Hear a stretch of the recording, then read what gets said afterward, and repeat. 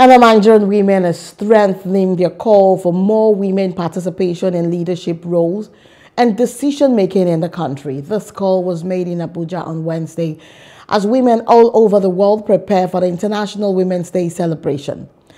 8th of March every year has been set aside as the International Women's Day and this has been celebrated across the world since the early 1900s, a period of great expansion and turbulence in the industrial world, and this period also gave rise to the radical ideologies.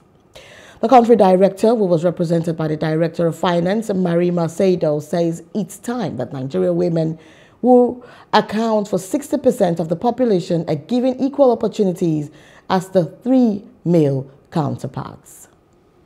50% of Nigerian population is women. And for the last legislature, we only have four women position in the governance.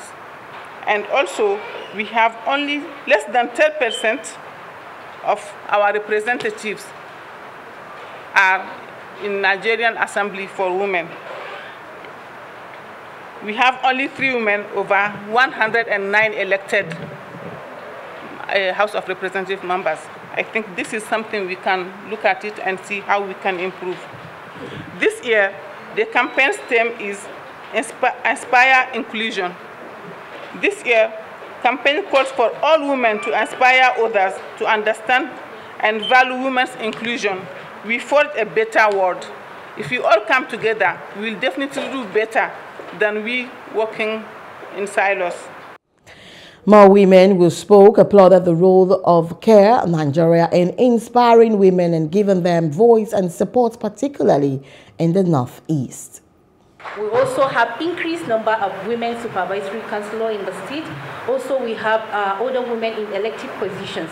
Um, although uh, it has not been, this is something that is happening uh, very new. We see it in Borno, especially having women in an elected position, particularly uh, being a chairperson of a local government, this is something that is very strange for us in Borno, and that did not happen over um, just like that, but it is due to different level of advocacy engagement that we had with the government through different levels of empowerment that we had from organizations like CARE International. I believe in some few years to come, we as a women, especially in the north, will see a great change.